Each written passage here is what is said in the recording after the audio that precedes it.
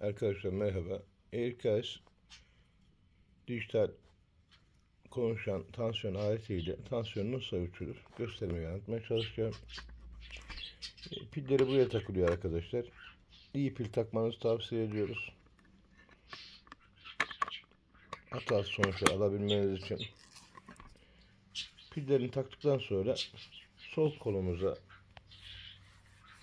bakın şekilde şu maşon üst ve kordon alt kısma gelecek şekilde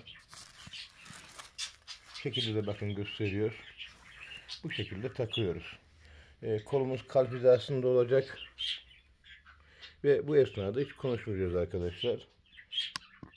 Kırmızı düğmeye basıyoruz.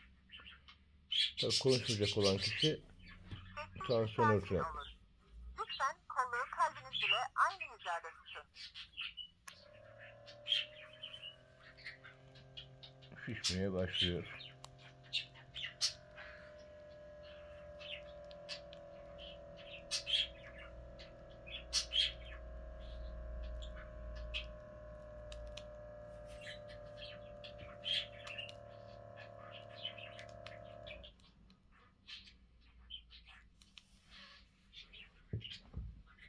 İlk atımda büyük tansiyon ölçüyor. Aleti.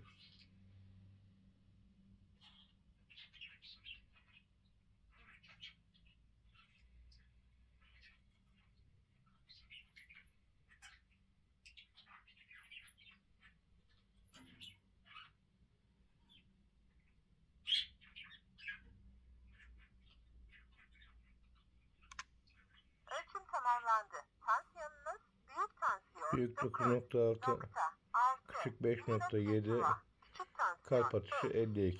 2 gündür hasta tansiyon ölçülen kişi. Değerler oldukça düşük. İzlediğiniz için teşekkür ederim.